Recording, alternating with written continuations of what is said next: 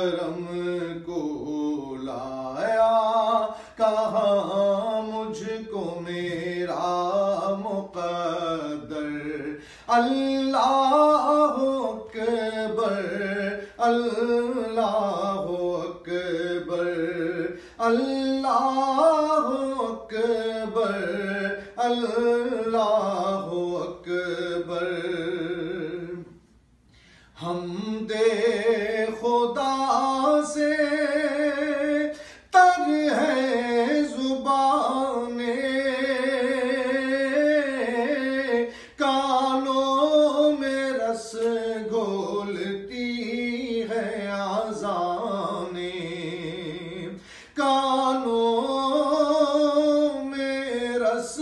گھولتی ہے۔ اذانے بس ایک صدا رہی ہے برابر۔ اللہ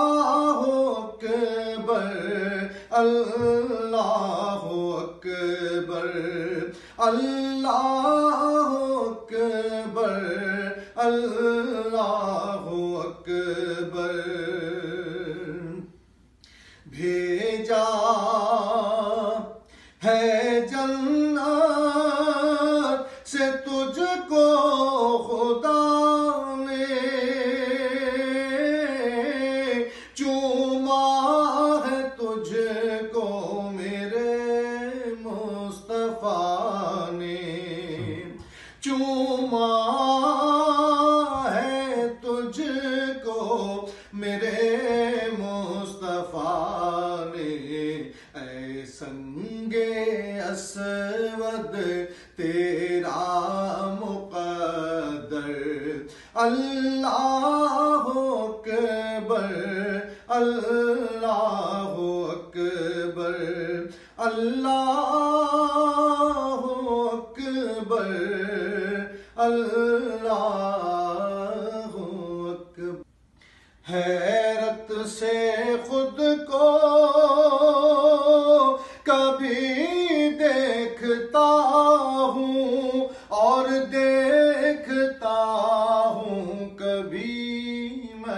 حرم کو۔ حیرت سے خود کو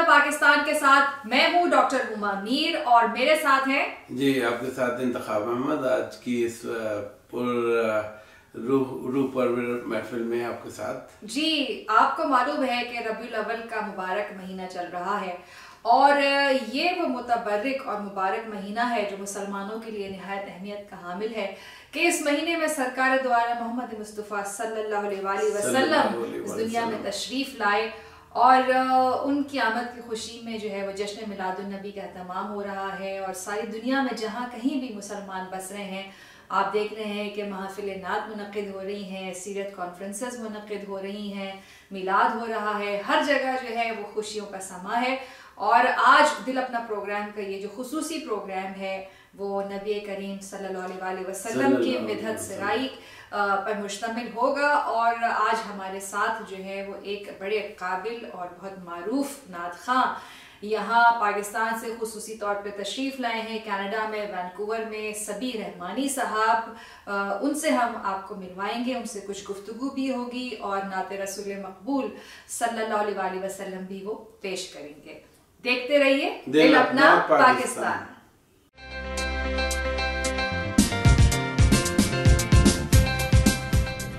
خوش ذائقہ مٹھائیاں کھانی ہو یا نمکو کھانا ہو۔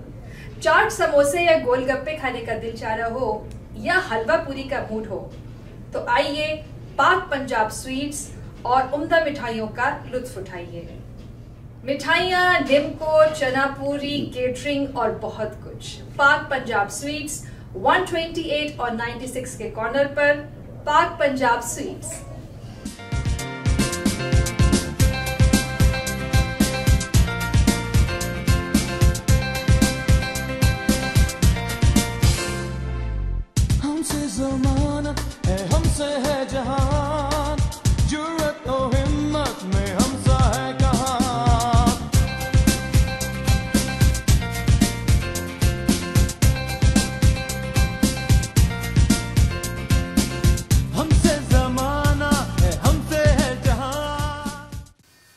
ناظرین دل اپنا پاکستان میں ہم عید میلاد النبی کی تقریبات میں بالکل اسی طرح سے شامل ہیں، جس طرح سے پوری قوم، پورا عالم اسلام شامل ہے۔ اس عالم اسلام کی ان خوشیوں میں ہم اپنی خوشیوں اس طرح شامل کر رہے ہیں۔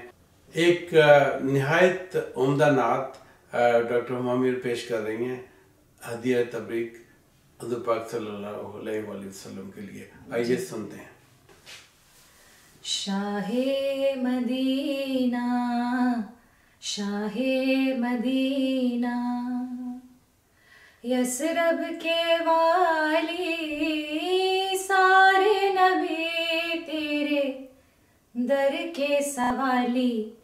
شاہ مدینہ شاہ مدینہ۔ جلوے ہیں سارے تیرے ہی دم سے آباد عالم، تیرے کرم سے آباد عالم، تیرے کرم سے۔ جلوے ہیں سارے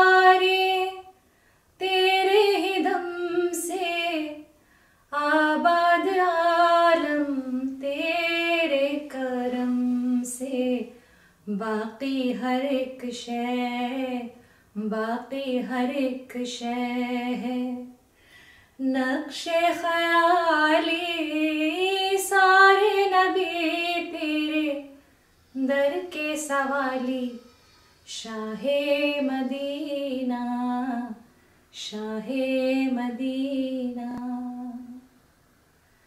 تیرے لیے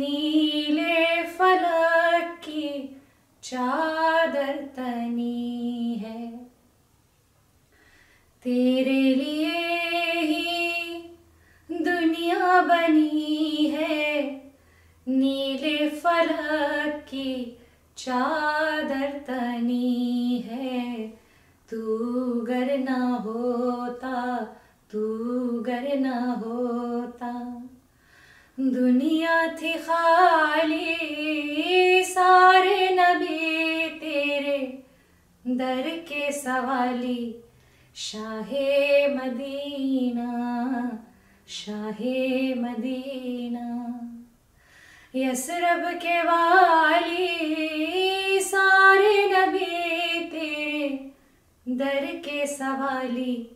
شاہ مدینہ شاہ مدینہ شاہ مدینہ۔ ناظرین، دل اپنا پاکستان میں آج ہمارے ساتھ موجود ہیں جناب سبی رحمانی صاحب، جو کہ پاکستان سے تشریف لائے ہیں اور ماہ ربی الاول میں خاصے مصروف ہوتے ہیں۔ بہت جگہ ان کو مدعو کیا جاتا ہے اور ان کو بہت پسند کیا جاتا ہے۔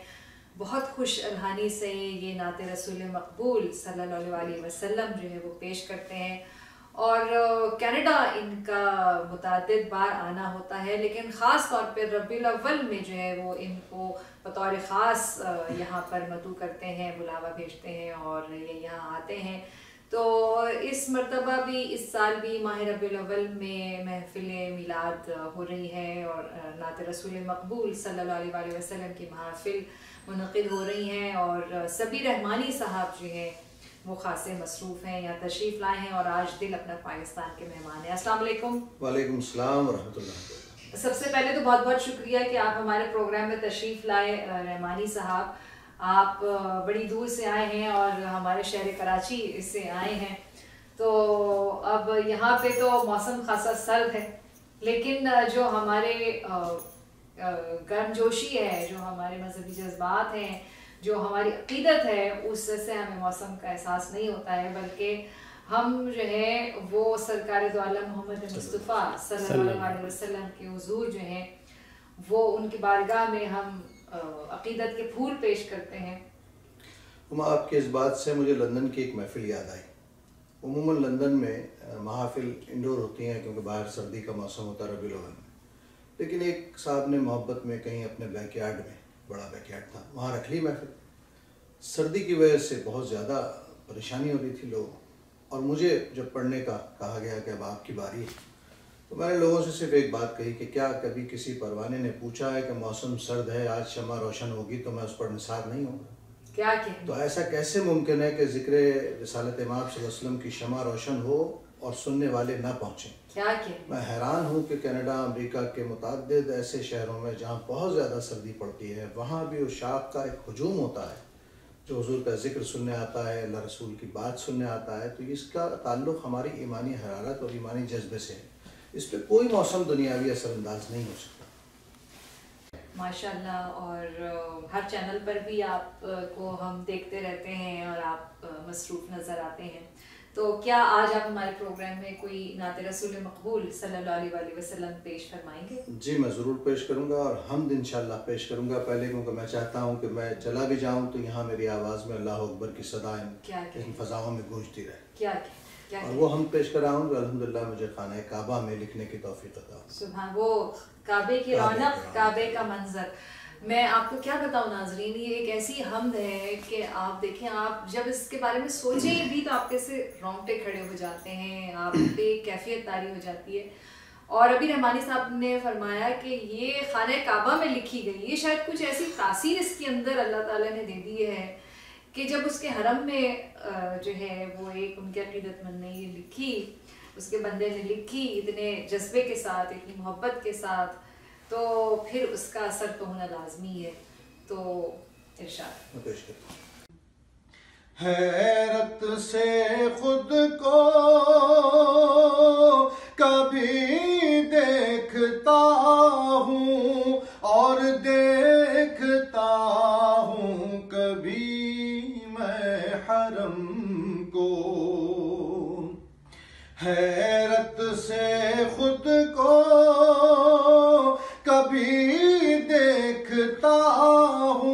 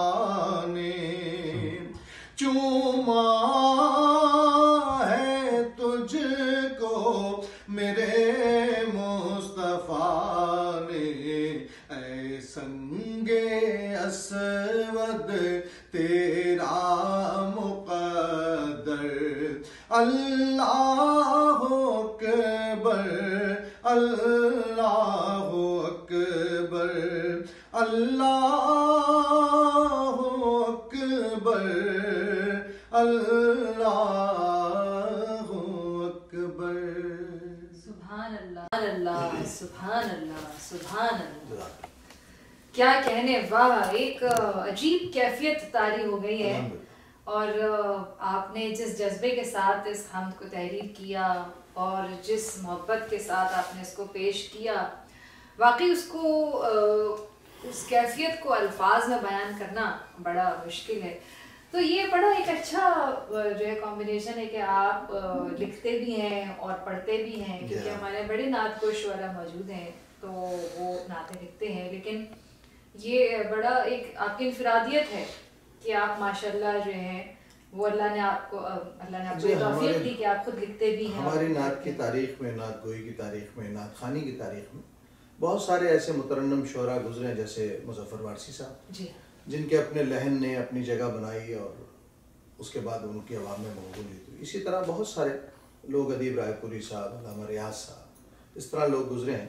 اللہ نے مجھے بھی یہ سعادت بخشی کہ اس نے نہ صرف حضور علیہ السلاۃ والسلام کی نعت کی سعادت عطا فرمائی، بلکہ نعت گوئی میں بھی بہت ساری کرم نوازی سے مجھے بہت نوازا بہت سارے زاویوں پر نعت کے حوالے سے میں نے کام کیا۔ اچھا یہ ایک خاص مطلب کوئی آپ نعت جب لکھتے ہیں کوئی کیفیت تاری ہوتی ہے کیا ہوتا ہے؟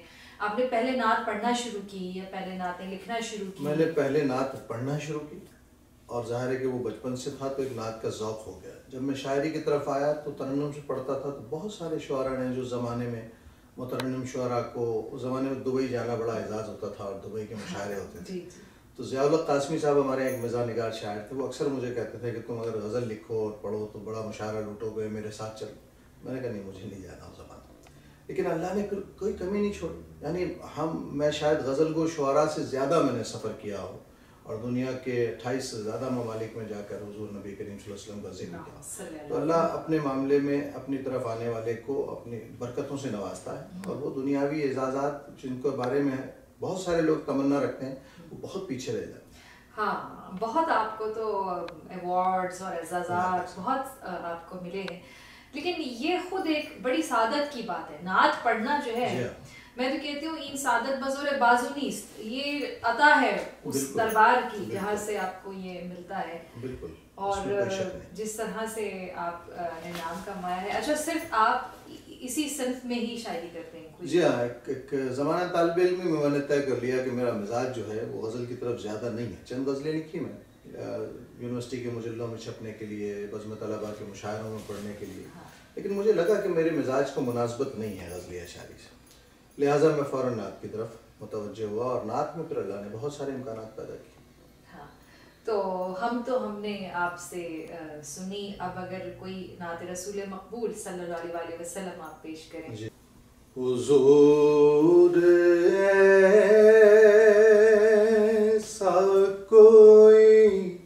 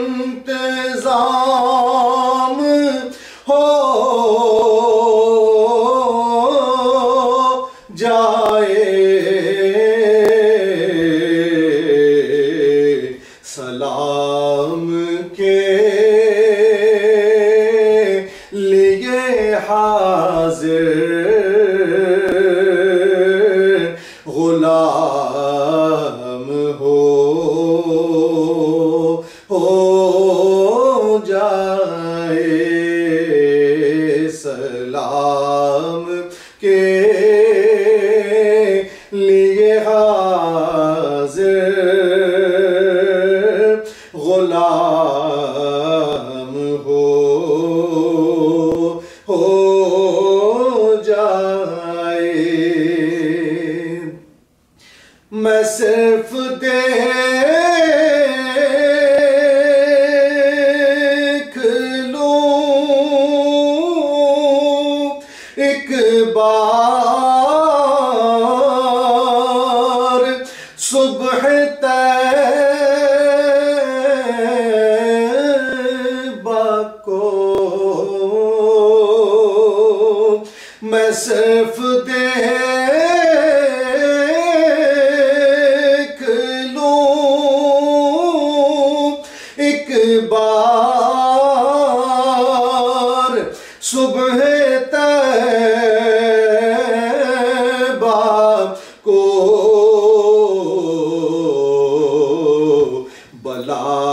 nasip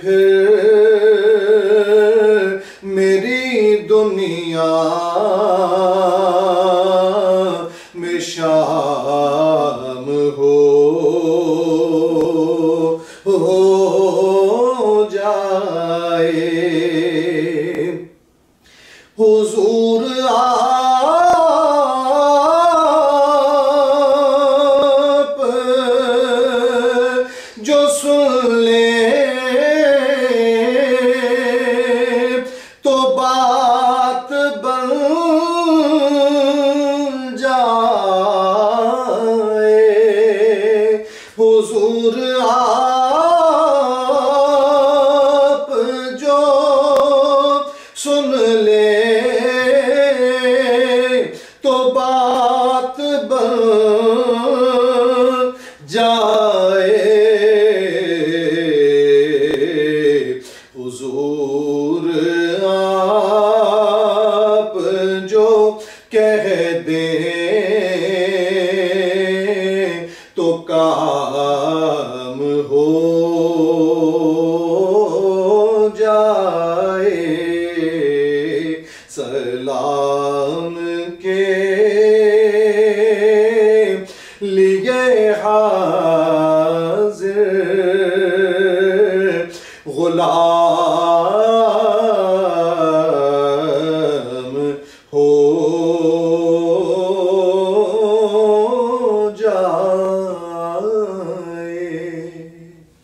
جزاک اللہ جزاک اللہ کیا کہنے؟ واہ واہ واہ واہ۔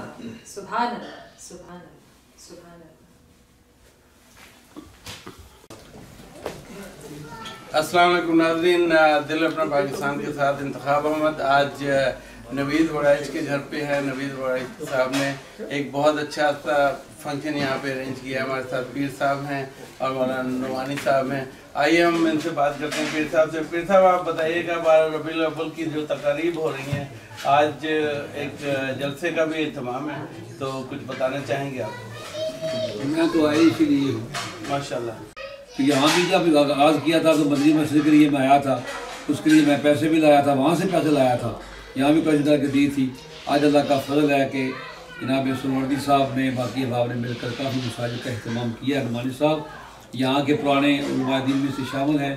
یہ ہمارے پرانے دوست بھی ہیں، ساتھی بھی ہیں اور بڑی محبت والے ہیں۔ محبت بھی ہیں، اہل بیت سے بڑی محبت کرنے والے ہیں۔ تو اللہ نے ان کو صحت بھی دی ہے، ان کے لیے مزید دعا اللہ نے مزید صحت فرمائے۔ تو رات کو اگر آپ تشریف لائیں وہاں پر، تو وہاں خطاب سنیں گے، اس کو اگر لائیو کریں گے۔ میں نے آٹھ سال ٹی وی پہ جمعہ پڑھایا، لائیو۔ جی ہاں۔ تو یہ ٹی وی بڑا کام کرتا ہے، میڈیا بہت بڑی ضرورت ہے آج کی۔ اور سوشل میڈیا تو تباہی مچا کے رکھتی ہے نا ہر کسی کی۔ جو بات گھر میں ہوتی ہے ہم آپس میں بعد میں کرتے ہیں تو اس میں پہلے بھی چلی جاتی ہے۔ آپ اچھے ٹی وی میں کام کریں گے تو اس کے اچھے رزلٹ آئیں گے۔ یہ ضروری ہے کہ آپ کا ایک نام ایسا ہے کہ جو ہمارے کمیونٹی کو قبل کرے لوگوں کو دکھائے کہ ہم کیا کر رہے ہیں۔ مولانا صاحب عبداللطیف نعمانی صاحب آپ کچھ بارہ ربیع الاول کے کی وسادت سے کچھ کہنا چاہیں گے؟ بسم اللہ الرحمن الرحیم۔ بارہ ربیع الاول کا وہ دن ہے جس دن آقا نامدار محمد الرسول اللہ صلی اللہ علیہ وسلم دنیا میں تشریف لائے۔ نور ان کا بہت سال پہلے اللہ تعالیٰ نے پیدا کر دیا تھا۔ جو ان کی پیدائش ہوئی ہے وہ بارہ ربیع الاول کو ہوئی۔ ہے اسی بنا پر یہ جلسے وغیرہ ہوتے ہیں ان کے خوشی کے لیے۔